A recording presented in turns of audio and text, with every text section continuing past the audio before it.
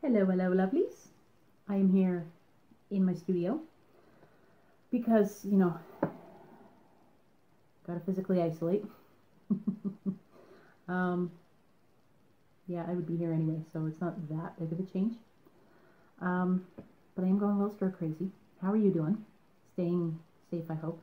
Staying sane. Although that might already be a stretch. We're already at day. What day is it? I don't know. Anyway, we're not going to worry about that. Everybody's worrying about that. And yeah, so we're going to take a break from it. Because I would like to share something with you that is long overdue. oh, I am not one for staying up on trends. If you've been with me for a hot minute, you already know that. So this painting back here, and subsequently actually that one as well, um, was another very late to the party trend video that I did, um, the 100 layers challenge, which I will link in a card somewhere up here. Um, I'm not sure how this is going to orient when it's on my computer. Um, but yeah, so if you want to check that one out, that'll be another way past overdue trendy video. Um, anyway, so the one that I would like to share with you today is a what's inside my bag video. See what I mean?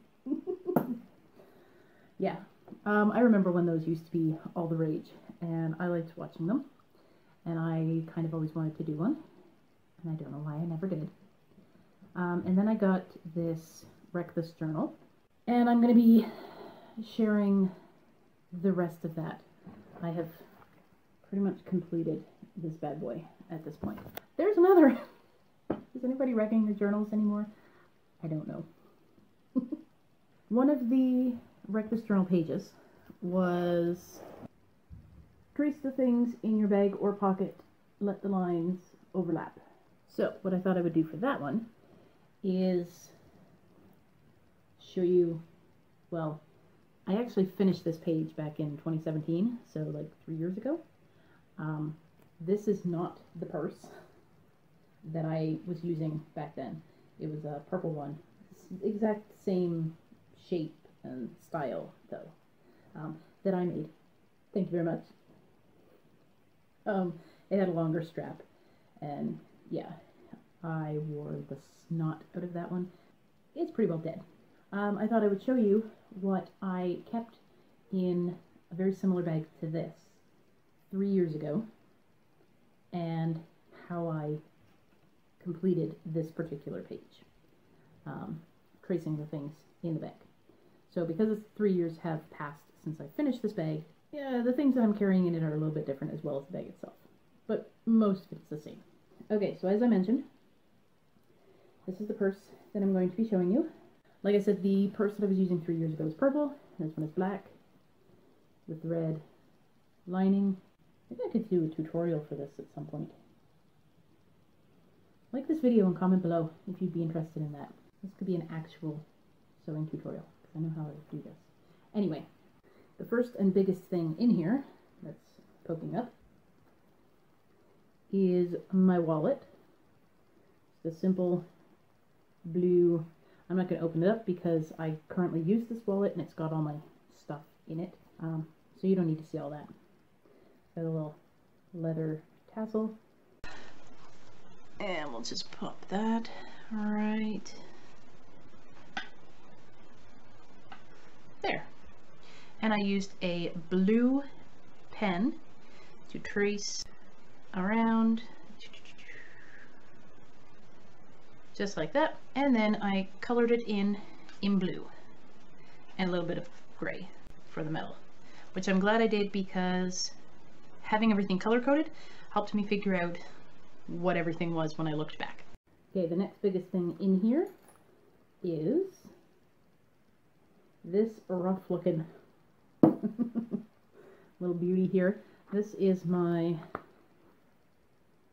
cell phone holder thingy. It's got a couple pockets inside for, um, I usually put like my driver's license, throw my cell phone, and this is what I carry when I go and pick up the younglings from school. So I have my driver's license. Um, and I've been using this for, yeah, it's It's rough looking. Probably about four years. Love this one though. Okay, and then this one went right here.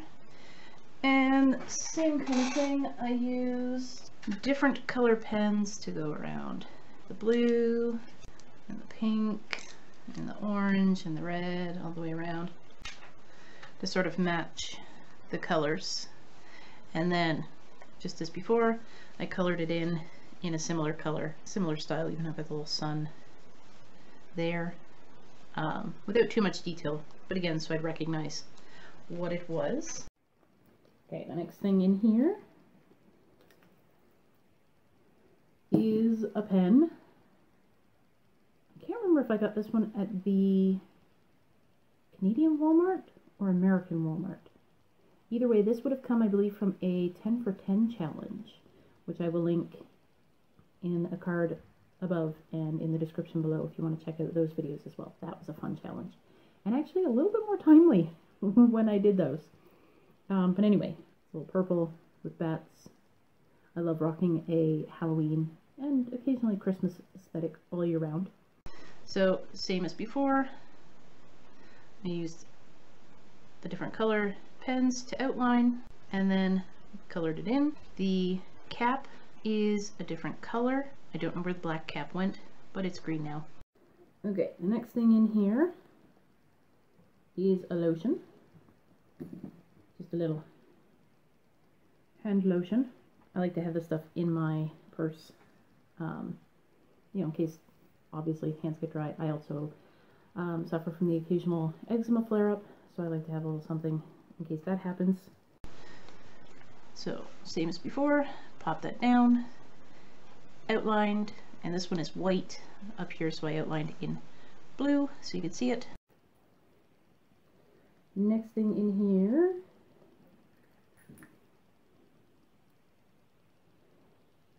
mention this. This is different and yet kind of the same. So in the book I have this one outlined. It was a little heart-shaped uh, with a crystal on it. And this is essentially the same thing, it's just a different shape. This one broke, so that's why I replaced it with this. It's basically just a purse hook. So you'd hang, you'd put the heart part, or on this one, you put the circle on the table, and then hang your purse. And I still carry this in whatever purse I'm using at the time.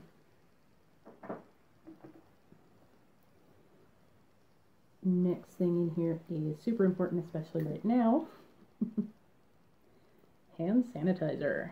This is my little clip one that I keep clipped to, again, whatever purse I'm carrying at the time. And then whenever I need it, and I love that it's all glittery mermaid tail. Bestie got this for me. Put that down here.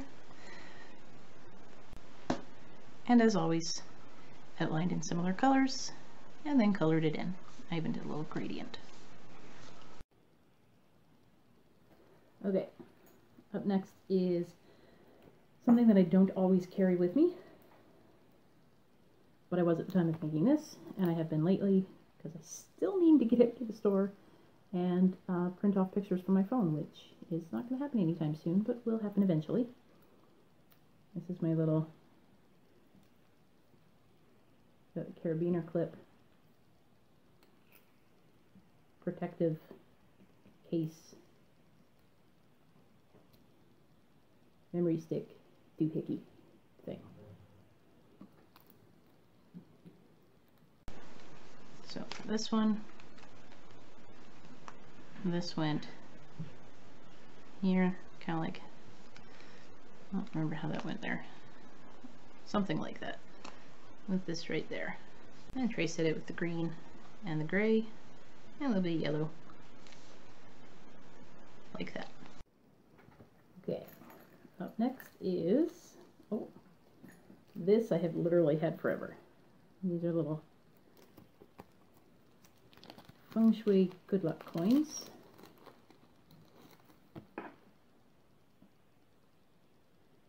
A red string with the three coins. I've had this in every wallet I have ever owned since I think about high school. So, long time. For this one I just kind of spaced out the coins so you could see all three. Held down the ribbon and traced everything out that way. And that went right there. Oh, and the next thing is another little coin. This one I got from the Mandarin. Um, I don't remember how many years ago. And this one went right there. I thought it was pretty cool because it has the square in the center. Oh, here we go. I also have a. It's a $1 coin here in Canada, for those who aren't familiar. This one went right there. I chose this one because it has the weird, not a smooth side. It's got little like notches. And that went right there. Then, oh, this one is different as well. This is my Lush chapstick. Mm. I love this one. The one I carry around with me now is the chocolate lipstick, which um, has always been my favorite. I remember I used to get this all the time in college, and then I was sad they stopped making it, but they brought it back. And it went right here with a little outline. You can see the outline here is green because when I traced this one, it was key lime. And the last thing I could find is my fidget beads.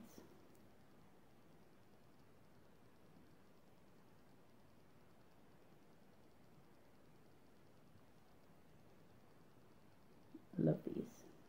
I have a tutorial on how to make one of these here on my channel if you're interested. Again, there will be clickable eye up here somewhere, as well as a link in the description. And I welcome you to check that out. It's, it's been very highly received, which makes me very happy. And that one went right here. That was fun to draw. Blah, blah, blah. Boom, boom, boom, boom, for the beads. And it looked like that. So the things that I could not find were this here, this little purple kitty cat shape, which is a Luna head squishy. I got that in a, um, it was a Sailor Moon themed mystery box. I can't remember the company. I think it was a QBox, probably. I think I have a video for that too, so I will list that um, in the description, and uh, you can check that out if you'd like as well. I loved the little Luna head. I still love it. I can see if I can track it down. I'm pretty sure I lent it to my daughter. It's probably somewhere safe. and then the only other thing on this page is this pink shape that I cannot for the life of me figure out what it is. Think it might have been a candy wrapper, like a Mentos or something. But I don't remember. Probably would have been a good idea to write these down, like a little legend somewhere. but anyway. So there is my completed This Journal page with everything that I stored in my bag three years ago many of which I still have in my bag today. I hope you found this entertaining and maybe a little insightful into me. Hmm? Thank you very much for watching, and I will see you probably sooner rather than later in the next video. Until then, stay fabulous.